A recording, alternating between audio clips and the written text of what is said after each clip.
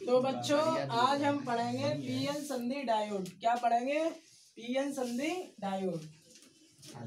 PN संधि diode बनाने के लिए अर्धचालकों की सहायता ली जाती है और उससे बनता है पीएन संधि डायोड। तो मैं तुम्हें पढ़ा चुका हूँ इससे पहले पी टाइप अर्धचालक और एन टाइप अर्धचालक। जब हम पी टाइप अर्धचालक और एन टाइप अर्धचालकों को एक साथ मिलाकर रख देते हैं तो उनकी एक बाउंड्री बनती है। ये बाउंड्री है, जैसे इस तरफ़ का ये पूरा का पूरा है, ये हमारा पी क्षेत्र है। कौन सा क्षेत्र है? पी क्षेत्र यहाँ लिख रखा है। और यहाँ से ये वाला क्षेत्र है, ये जो प्लस प्लस दिख रहे हैं, वो पूरा का पूरा एन क्षेत्र है। तो पी क्षेत्र और एन क्षेत्र की जो परिसीमा होती है, वो हमारी कहलाती है पी एन संधि। पी एन जो पी क्षेत्र होता है, उसके अंदर तुम जानते हो कि ग्राही परमाणु होते हैं तो स्थिर ग्राही परमाणु यानी कि ऋणायन होते हैं, ये वाले ग्राही होता है वो क्या है? ऋणावेश का होता है तो ऋणायन स्थिर होते हैं। ठीक? और एन क्षेत्र में धाता परमाणु होता है, जो क्या है? स्थिर धनायन है। तो स्थिर धनायन होने के कारण यहाँ पर स्थिर धनायन है। अब पी क्षेत्र में जितने स्थिर ऋणायन होते हैं, उतने ही उसमें कोटर होते हैं। ये देखो कोटर हैं। जितने स्थिर ऋणायन है, उतने ही कोटर हैं। और एन क्षेत्र में जितने धनायन हैं, उतने ही मुक्त इलेक्ट्रॉन हैं। इस कारण इस कारण ये दोनों ही क्षेत्र उदासीन रहते हैं। दर्शक, ये उदासीन हो गया प्लस और माइनस है, यानी कि धनायन है और मुक्त इलेक्ट्रॉन है। तो ये उदासीन हो गया, यहाँ से ये उदासीन हो गया, इस तरह से पूरी पीएन संधि उदासीन रहती है। ठीक?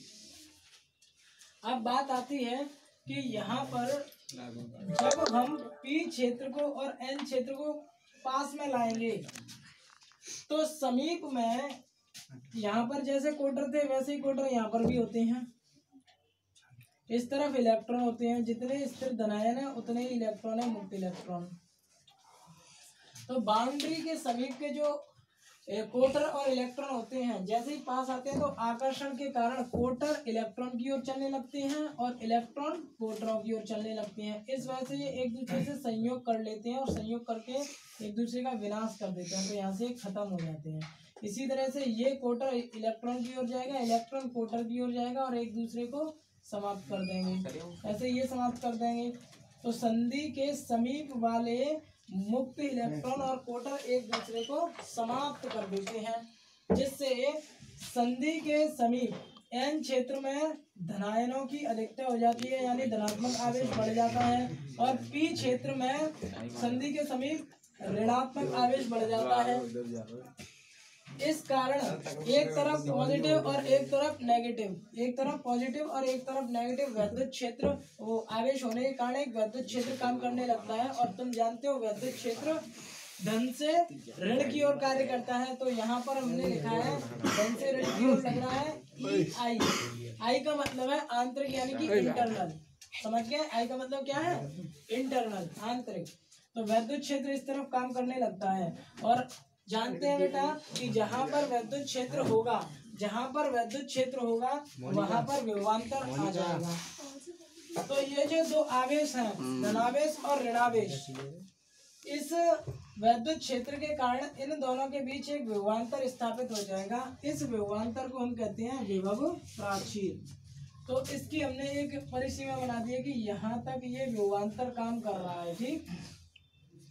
अब यहाँ के कोटर को या यहाँ के मुक्त इलेक्ट्रॉन को एक दूसरे से संयोग करना है, आकर्षण के कारण एक दूसरे की ओर आना चाह रहे थे।